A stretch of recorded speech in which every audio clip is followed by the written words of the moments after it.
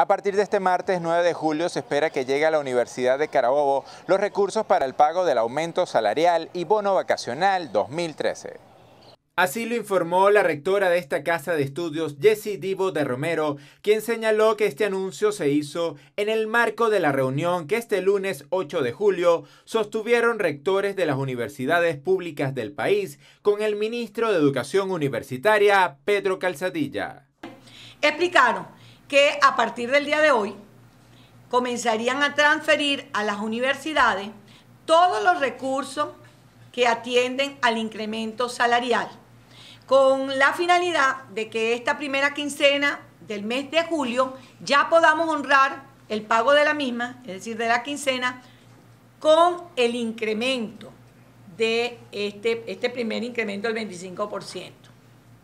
Con el compromiso igualmente de transferir el retroactivo de enero a junio, el retroactivo del incremento salarial.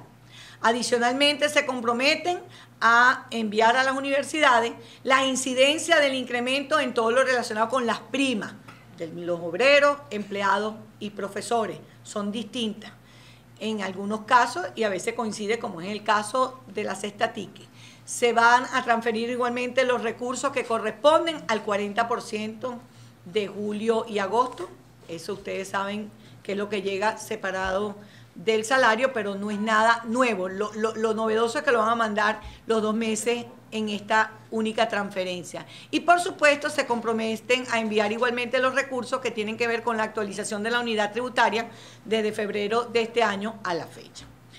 La rectora señaló que los departamentos encargados de calcular y pagar estos beneficios salariales ya están trabajando para depositarlos en las cuentas personales de los obreros, empleados y docentes usistas. Que las instituciones bancarias disponen.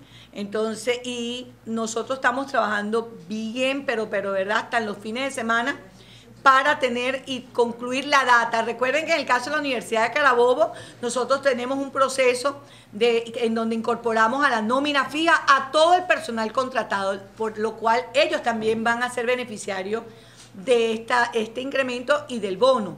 Entonces tenemos que elaborar aproximadamente más de 40 datas. Estamos trabajando en eso, pero la aspiración de la Universidad de Carabobo, si recibimos los recursos esta semana y concluimos el trabajo de las datas, honrar el beneficio antes del final de este mes. La autoridad universitaria espera que de igual manera lleguen los recursos para atender las insuficiencias presupuestarias de este 2013. Desde el rectorado de la Universidad de Carabobo reportó para UCTV Noticias Nicolás Brizuela.